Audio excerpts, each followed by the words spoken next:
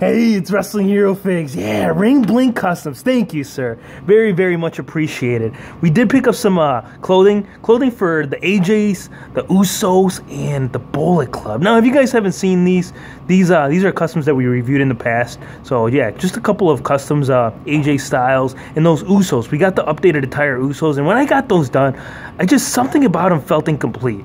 Um, apart from those shoes. I gotta, I gotta swap. I gotta paint those shoes white still. Those are already white, so you're good, sir. And yeah, like I said, a couple of Bullet Club shirts. So let's let's open this up. Uh, and again, th- this is from my good friend uh, Gareth Grandon, um, also known as Ring Bling Customs. He makes figure clothing, and it is extraordinary work that he does. I mean, some of the work that I've seen that he's posted, it just looks amazing. It's just as good as any other figure clothing out there. So let's get this open and just let's see what it looks like because I really am curious. I've this is the first time I've ordered from him and I'm almost positive he won't let me down just because like I said stuff that I've seen from him wow so as you guys know I made this uh, custom Karl Anderson machine gun Karl Anderson, right? From his Bullet Club days using that Battle Pack uh, head scan. So I got the Bullet Club signature logo right there. And these, this is just going to go perfect. I think this will really, really complete it. So let's get this on him and see what it looks like. I was also thinking about ordering a couple more for uh, those custom Young Bucks that we did a little while back. I think those would look great with this. Now, let's see what Karl looks like with it on because, yeah, and it is really good quality too. The fabric material that he uses it's got some really nice stitch work. It looks like a genuine, authentic, life-size shirt. It's what it does. And Karl Anderson, yeah, this looks great, dude. Thank you. Wow. That looks awesome, bro. Now, we got to get Luke, right? Because we don't have a... We don't have the Bullet Club without Luke, right? Luke Gallows. And, yeah, I, uh, I was thinking about just getting... Not just for the Young Bucks, but also for that uh, custom uh, Adam Cole um, even for Finn Balor, because I think Finn Balor would look really good in this, in these Bullet Club shirts. Also, uh, just the whole gang, right? Because I think that would just be that would be too sweet. In my in my just my opinion, I think these shirts just really complete your figures, and it just makes them look too sweet, right?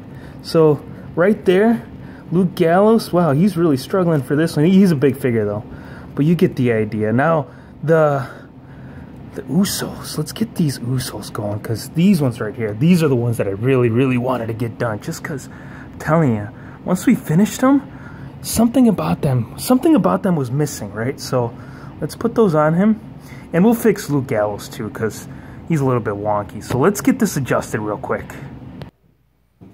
Awesome. So we got them on, and these look great with them on. I might tell they've gotten away from fabric. Every once in a while, they do spoil us with some fabric clothing, but it's it's been a good while. And these Usos, I'm telling you, they look great with these shirts.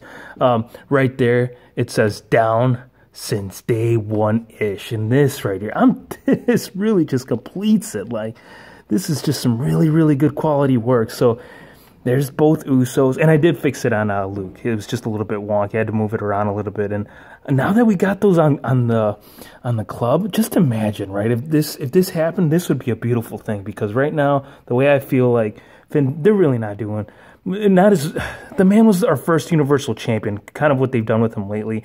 I can't say i agree but that just really completes it right? The club right there. Now i also did put it on aj i put it on my blue custom aj and this is just a nice shirt. Like look at the detail on that. That is just it's phenomenal. Look at that. You can actually see the detail inside the gloves of his hands. Because if you look closely enough at it, he's got the P1 right in, on the inside of the gloves. So he gets very detailed with all his clothing. And yeah, this I, I know that the basic's going to be released here pretty soon, um, the blue attire. So if you don't like your basics, this is a great way to mask your your basic look, right? Give it that elite style, as we always talk about. Now AJ Styles, oh, the red attire, this is cool. So yeah, this is when uh this this red that I went with um on the on the attire. You guys are familiar with this. We've shown this, but it is when you won the U.S. title and putting this red shirt on him.